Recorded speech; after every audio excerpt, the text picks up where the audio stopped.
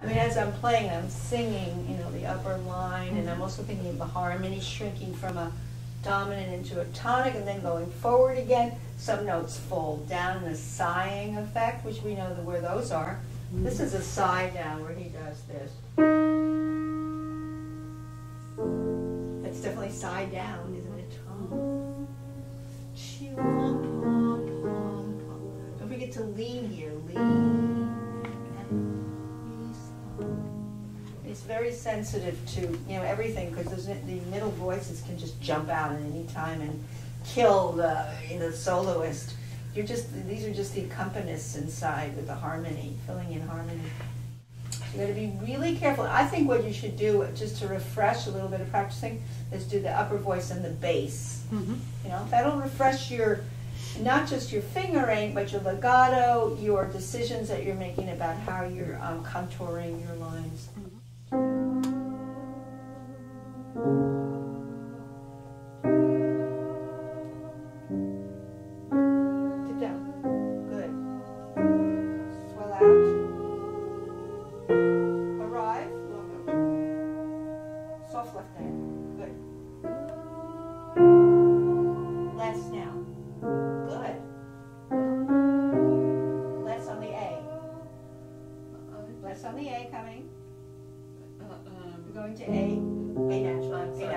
Expect that's A beautiful note because we don't expect an A natural.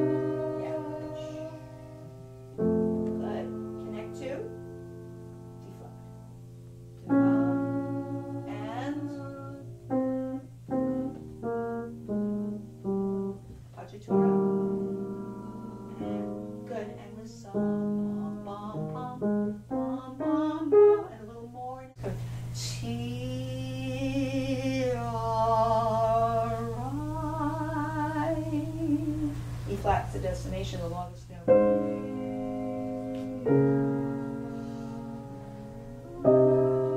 Soft G. Good. Tip down.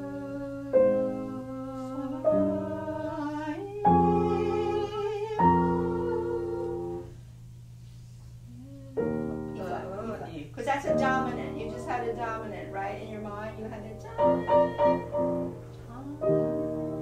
In your mind, you're hearing dominant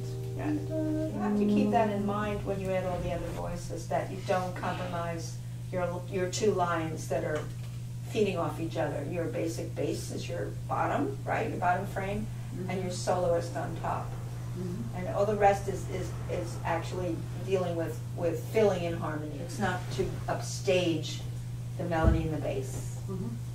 It's just wave waves of harmony, isn't it? Mm-hmm. Now do everything together and see if you can keep in mind the top and the bottom voices as the stars of this piece cello and, and violin. You, you, are coming from silence into sound, but there is some kind of something leading in preparing you. Yes. But I would, yeah, it's piano. It has a little, um, uh, somebody put a parenthesis whether, you know, it's really that soft. But I think I'd want to really hear it a little more.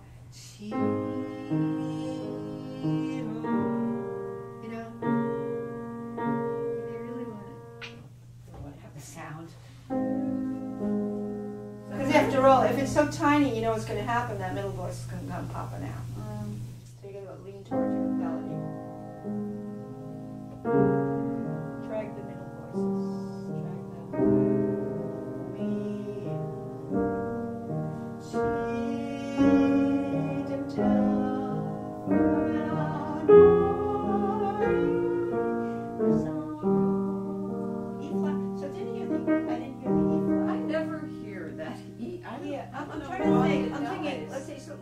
Happens so you have three, four, five, five.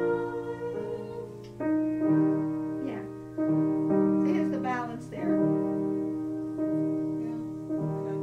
Yeah. Yeah, I'm really leaning toward, you can see my hand is almost like sideways toward the E flat, you know, uh -huh. it's doing that. Okay. And that's what happens. Your hand shifts a little toward whatever voice is bringing out. The little emphasis and the angle of your hand. I believe.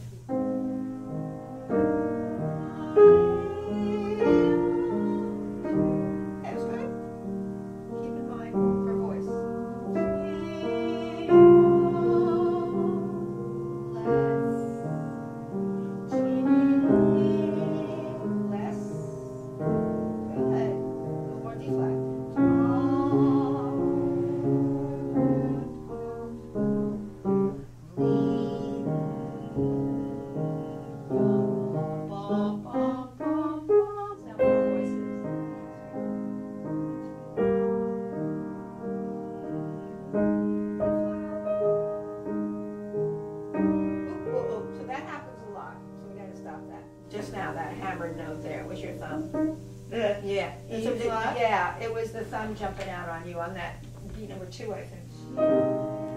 It's right here. Soft. Was that. And it has to be soft. The second beat, it was the thumb on the second Mhm. beat of the Mhm. right hand. And probably the left hand doing it too at the same time. Because that's just, you know, that's just trickling across, um, harmony, wavy harmony. You should do is see if you have all the notes as a block under your, under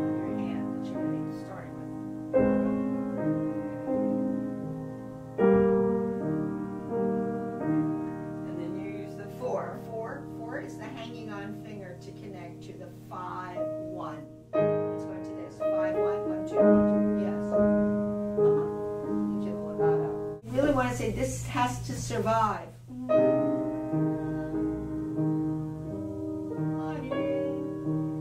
I don't care if those little in-betweens disappear a little. I much want to hear the upstones.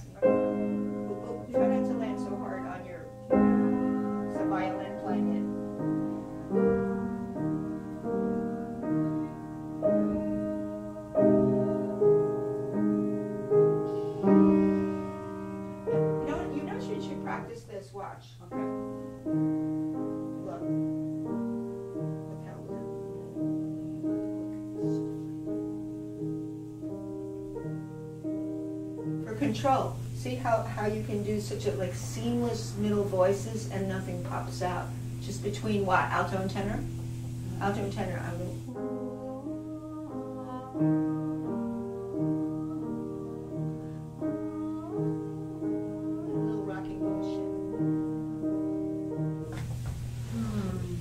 Because that's, that's the gist of it right there. So they're all doing one, two, one, two, right? One, two, one, two. Remember how we practice this? They're all one, twos, that's the good news. Right, they're all one, twos between the hands. Your thumbs are seamlessly floating. Your, your float, ev- nothing really sticks out? That's why you have to use this little wrist rotation?